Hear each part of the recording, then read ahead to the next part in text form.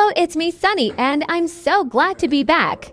I hope Scarlett is okay because she hasn't been doing good lately. She has a little bit of a cold. Sunny.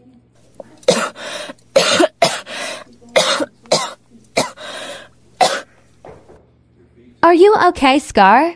Yeah, I am.